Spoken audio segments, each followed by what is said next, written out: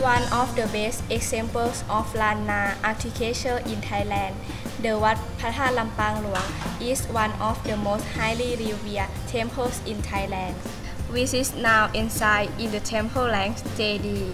The temple is one of the best examples of Lanna style architecture in Thailand whereas some temples have been restored using modern materials and modern building techniques. The temple was found in the 13th century. It's named to the Temple of Lampang's Great Buddha relic. The architecture is a mix of Lanna and Thai styles.